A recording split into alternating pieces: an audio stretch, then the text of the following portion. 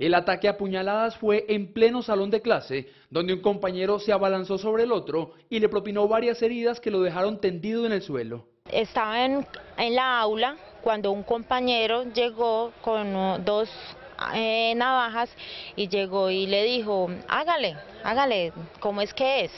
Entonces mi hijo le dijo, oigan, este está enloqueciendo.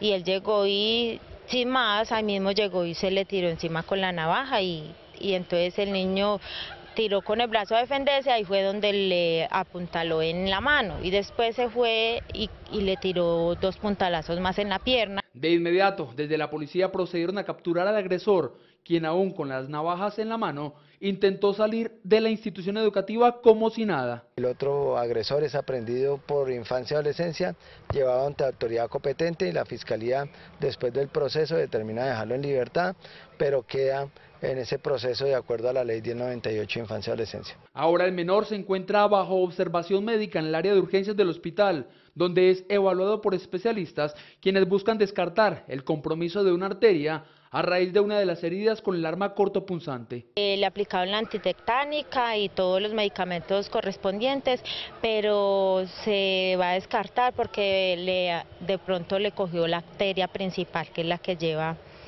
em, en la pierna. Sobre las causas del ataque, hasta ahora son un misterio. Según la madre del menor, no se sabe de disgustos, de broncas o de deudas entre los dos estudiantes. Y son compañeros del salón, y él no le, no le hizo absolutamente nada, lo único que él hizo fue simplemente llegar y, y decirle hágale, hágale, desafiémonos sin él hacerle nada al muchacho. Para la mamá, solo hay una explicación ante este tipo de situaciones. Yo creo que eso influye más que todo desde la casa, porque los padres hoy en día se están volviendo con la educación, mala, la están dando en mala formación y en los planteles educativos falta lo que se llama más carácter. Por ahora el agresor fue dejado en libertad por orden de la Fiscalía, pero sigue vinculado al proceso en el que la familia del joven herido espera justicia, no solo de parte de las autoridades, sino del sistema educativo local.